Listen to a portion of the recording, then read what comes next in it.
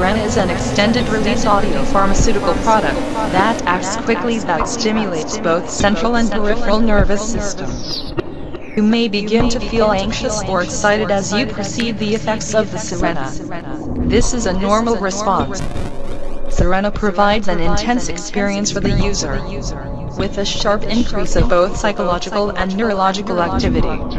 For long use and exposure to Sirena can be quite dangerous, especially to individuals that are sensitive or weak or they have a history of psychiatric disorder.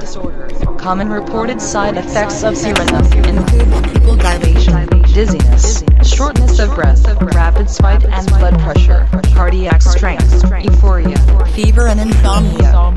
High-dose administrations can cause adverse reactions, such as panic, paranoia, hallucinations, moderate to severe brain damage, and psychotic break.